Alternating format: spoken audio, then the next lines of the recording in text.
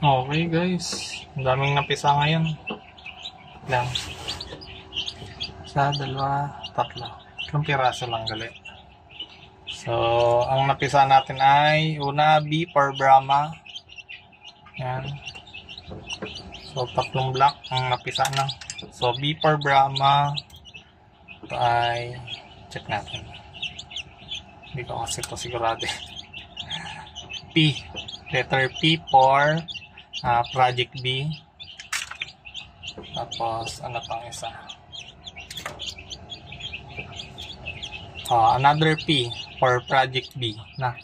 So, yun ang mga napisa. So, dalawang Project B at saka isang Brahma. Tapos dito, yung waiting natin ay, ah, okay, butas na din. Ito ay PS. Parent stock. From parent stock to. Ito yung Rhode Island Red natin na F1 Superior na. So paabot tayo ng isa lang.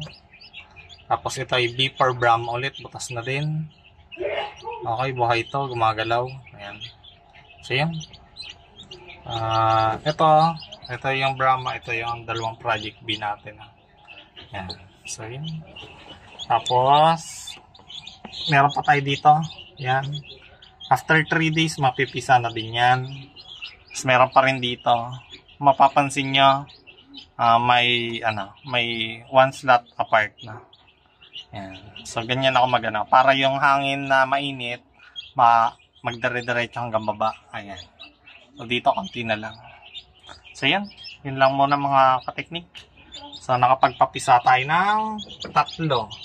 Tapos may coming tayo na ito bukas ang pisa niyan or mamayang gabi. Okay? Tapos meron pa tayo after 3 days, yan, lima. Or anim gali. Yan, anim. Tapos ito, coming pa rin. Ito, mga bago lang eh. Sa, nung 15, October 15, October 17, October 25, ang dami. Ang dami nung October 25 to October 21. No? So, nakapag-handling na tayo.